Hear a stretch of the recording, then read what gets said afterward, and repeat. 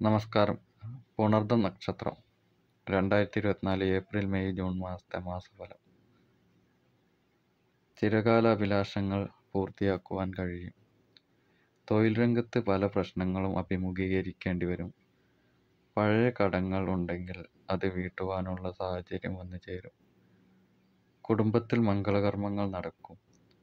വിവാഹാലോചനകൾ ഫലപ്രാപ്തിയിലെത്തും. വിചാരിച്ച രീതിയിലുള്ള വധൂവരന്മാരെ കിട്ടും.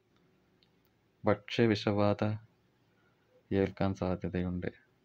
രാഷ്ട്രീയ രംഗത്ത് പ്രവർത്തിക്കുന്നവർക്ക് ജനങ്ങളുടെ പിന്തുണ വർദ്ധിക്കും.